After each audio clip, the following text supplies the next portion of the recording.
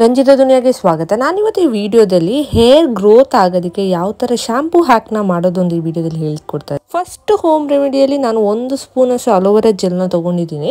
So ಇದರ ಜೊತೆಗೆ ಎರಡು ಸ್ಪೂನು ನಾನು ರಾ ಮಿಲ್ಕ್ನ ತೊಗೊಂಡಿದ್ದೀನಿ. ಇದೆರಡೂ ಕರೆಕ್ಟಾಗಿ ನೀಟಾಗಿ ಮಿಕ್ಸ್ ಮಾಡಬೇಕಾಗುತ್ತೆ.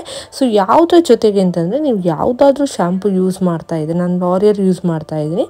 ಸೊ ಆ ಲಾರಿಯಲ್ ಮತ್ತು ಈ ಎರಡು ಇಂಗ್ರೀಡಿಯೆಂಟ್ಸ್ನ ನಾವು ಕರೆಕ್ಟಾಗಿ ಈ ಥರ ಮಿಕ್ಸ್ ಮಾಡಬೇಕಾಗುತ್ತೆ. ಸೊ ಇದರಿಂದಾಗಿ ನಿಮಗೆ ಹೇರ್ ಸ್ಟ್ರೆಂತ್ ಆಗುತ್ತೆ ರೀಗ್ರೋತ್ ಹೇರ್ ಆಗುತ್ತೆ. ಆಮೇಲೆ ಅಲೋವೆರಾದಲ್ಲಿ ವಿಟಮಿನ್ ಎ ಇದೆ ವಿಟಮಿನ್ ಸಿ ಇದೆ ವಿಟಮಿನ್ ಇ ಇದೆ. ಇದೆಲ್ಲ ನಿಮ್ಮ ಹೇರಿಗೆ ಹೆಲ್ಪ್ ಆಗುವಂಥದ್ದು ಡ್ಯಾಂಡ್ರಫ್ನ ರಿಮೂವ್ ಮಾಡುತ್ತೆ. ಸೊ ಆಮೇಲೆ ನಿಮಗೆ ಈ ವಿಟಮಿನ್ ಬಿ ಟುವೆಲ್ ಮತ್ತು ಪಾಲಿಕ್ ಆ್ಯಸಿಡು ನಿಮ್ಮ ಹೇರ್ ಫಾಲ್ನ ಸ್ಟಾಪ್ ಮಾಡುತ್ತೆ. ಸೊ ಈ ಥರ ಮಸಾಜ್ ಮಾಡಿ ನಾವು ಇಮಿಡಿಯೇಟಾಗಿ ಸ್ನಾನ ಮಾಡಬೇಕಾಗುತ್ತೆ. ಏನಕ್ಕೆ ಅಂತಂದರೆ ನಾವು ಶಾಂಪು ಆ್ಯಡ್ ಮಾಡೋದ್ರಿಂದ ಇಮಿಡಿಯೇಟಾಗಿ ವಾಶ್ ಮಾಡ್ಕೊ, ಮಾಡಬೇಕಾಗುತ್ತೆ. ಸೊ ಇದನ್ನ ವೀಕ್ಲಿ ಎರಡು ಸಲ ಅಪ್ಲೈ ಮಾಡೋದು ಹೇರ್ ಗ್ರೋತು ಆಗುತ್ತೆ. ಸೊ ಎರಡನೇ ರೆಮಿಡೀಸ್ ಯಾವ ಥರ ಯೂಸ್ ಆಗುತ್ತೆ ಅಂತ ಅಂದಾಗ ಫ್ರೆಂಡ್ಸ್ ಇದರಲ್ಲಿ. ಸೊ ಫಸ್ಟು ನಾನಿಲ್ಲಿ ಲೆಮನ್ನ ಯೂಸ್ ಮಾಡ್ತಾ ಇದ್ದೀನಿ. ಸೊ ಈ ಲೆಮನ್ ಯೂಸ್ ಮಾಡೋದ್ರಿಂದ ನಿಮಗೆ ವಿಟಮಿನ್ ಸಿ ಅಂಶ ಜಾಸ್ತಿ ಇರೋದ್ರಿಂದ ನಿಮಗೆ ಹೇರ್ ಗ್ರೋತ್ ಚೆನ್ನಾಗಾಗುತ್ತೆ ಸೊ ಎಕ್ಸೆಸ್ ಆಫ್ ಆಯಿಲ್ ಅನ್ನೋ ಪ್ರೊಡಕ್ಷನ್ ಆಗ್ತಾ ಇದೆ ಅಂತಂದರೆ ಅದನ್ನು ಕಡಿಮೆ ಆಗುತ್ತೆ. ಸೊ ಅದರಲ್ಲಿ ಯಾವುದೇ ಥರದ ನಾವು ಶಾಂಪೂನ ಯೂಸ್ ಮಾಡಿಕೊಂಡು ಈ ಥರ ಮಿಕ್ಸ್ ಮಾಡಬೇಕಾಗುತ್ತೆ. ಇದರ ಜೊತೆಗೆ ಸ್ವಲ್ಪ ನೀರನ್ನ ಹಾಕ್ಕೊಂಡು ಚೆನ್ನಾಗಿ ಮಿಕ್ಸ್ ಮಾಡಿಕೊಂಡು ನಿಮ್ಮ ಸ್ನಾನ ಮಾಡಬೇಕಾದ್ರೆ ತಲೆಗೆ ಹಚ್ಕೊಂಡು ಈ ಥರ ಒಂದು ಐದು ನಿಮಿಷ ಬಿಟ್ಟು ನೀವು ಸ್ನಾನ ಮಾಡಿದ್ರೆ ಹೇರು ತುಂಬ ಚೆನ್ನಾಗಿ ಶೈನಿ ಆ್ಯಂಡ್ ಸಿಲ್ಕಿ ಆಗುತ್ತೆ, ಆಮೇಲೆ ಹೇರ್ ಗ್ರೋತ್ ಆಗುತ್ತೆ.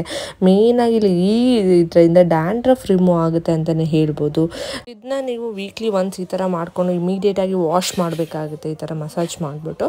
ಇದು ಎರಡನೇ ರೆಮಿಡಿ ಅಂತಲೇ ಹೇಳ್ಬೋದು. ಸೊ ಮೂರನೇ ಹೋಮ್ ರೆಮಿಡಿ ಯಾವ ಥರ ಇದೆ ಅಂತಂದರೆ, ನಿಮ್ಮ ರೈಸ್ ವಾಟರ್ನ ಯೂಸ್ ಮಾಡ್ಕೊಂಡು ಈ ಥರ ರೆಮಿಡಿ ಮಾಡೋದು ಫ್ರೆಂಡ್ಸ್ ಇದು ತುಂಬಾ ಉಪಯುಕ್ತ ಆಗುತ್ತೆ.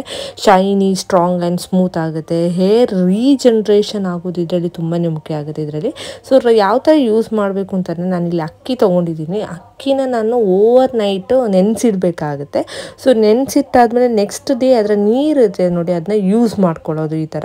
ಸೊ ಒಂದೆರಡು ಸ್ಪೂನು ಈ ಥರ ರೈಸ್ ವಾಟರ್ನ, ಅಂದರೆ ಓವರ್ ನೈಟ್ ನೀವು ಸೋಪ್ ಮಾಡಿರೋ ರೈಸ್ ವಾಟರ್ನ ನಾವು ಯೂಸ್ ಮಾಡಿದ್ದೀನಿ ಸೊ ಇದ್ರ ಜೊತೆಗೆ ನಾನು ಕೊಕೊನೆಟ್ ಆಯಿಲ್ನ ಯೂಸ್ ಮಾಡಿದ್ದೀನಿ ಸೊ ಇದರಲ್ಲಿ ಲಾರಿಕ್ ಆ್ಯಸಿಡ್ ಇರೋದ್ರಿಂದ ನಿಮಗೆ ಹೇರ್ ಗ್ರೋತ್ ಆಗೋದಕ್ಕೆ ತುಂಬಾ ಹೆಲ್ಪ್ ಆಗುತ್ತೆ. ಇದು ಒಂದು ಸ್ಪೂನು.